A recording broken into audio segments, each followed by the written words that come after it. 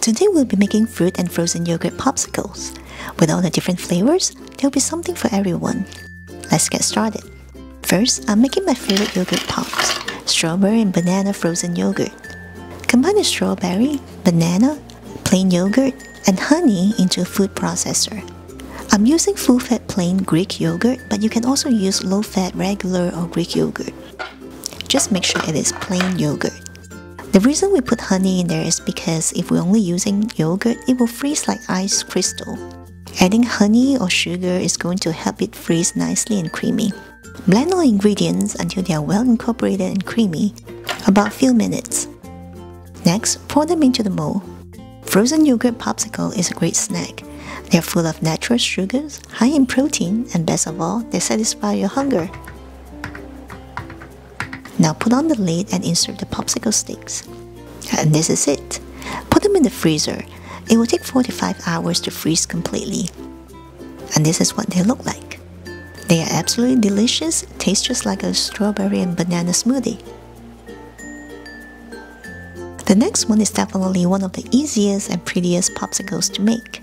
It only needs two ingredients, lemonade and fruit. Go ahead and add fresh fruits into the mold. You can use any kind of fruit you like except watermelon because that texture doesn't hold up too well in there with the lemonade. For the lemonade, I highly recommend that you use fresh lemonade.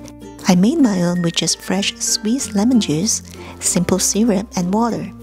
I'm going to add some lime zest in there to enhance the lemonade flavor. Now fill up the mold with the lemonade all the way to the top. And this is how easy it is to make a beautiful popsicle. Put on the lid, insert the popsicle sticks, and let it freeze. And here it is, so colorful and tastes so good.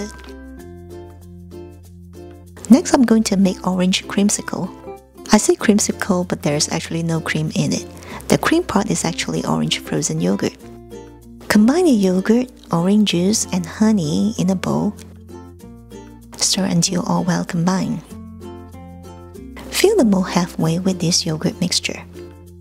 This in the freezer for 2 hours so that it will set slightly. We can now pour in the fresh squeezed orange juice. You can also use store-bought orange juice, but I always find those being too sweet. Fresh squeezed orange juice is always the best. Put on the lid, insert the popsicle sticks, and let it freeze. And this is what it looks like when they are done. Next, we'll make Black Forest yogurt pops. First, roughly chop up some chocolate. You can use milk, semi-sweet or bittersweet. Also cut out some small pieces of cherry. Next, combine the frozen cherries, yogurt, and honey into the food processor. Blend until they are nice and creamy.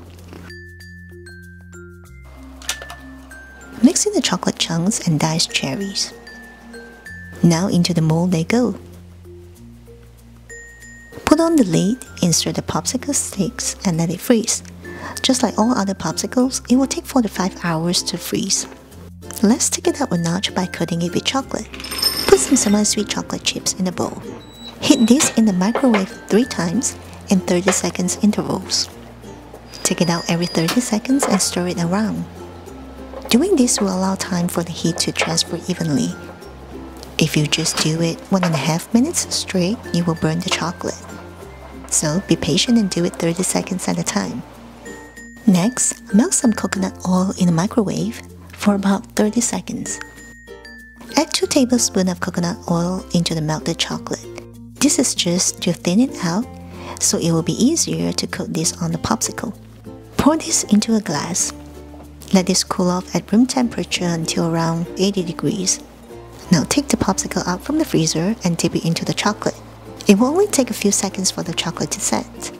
You can also dip the entire popsicle in there, but you will need to melt more chocolate. And here it is, Black Forest Yogurt Pop. And finally, the ultimate fruit popsicles. Puree all fruits of your choice one by one. I'm using mango, strawberry, kiwi, and blueberry today. And these are the only ingredients needed to make our fruit popsicles. You don't have to add any sugar because they are naturally sweetened. You can use fresh or frozen fruit. If you are buying frozen fruit, check the label and see if it says the type of fruit and sugar. Don't buy the ones that have sugar added to them because it's totally not needed. You just want the fruits in there by themselves.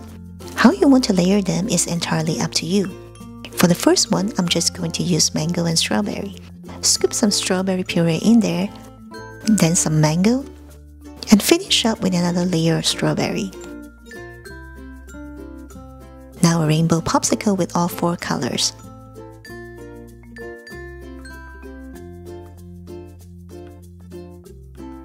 And this is the result.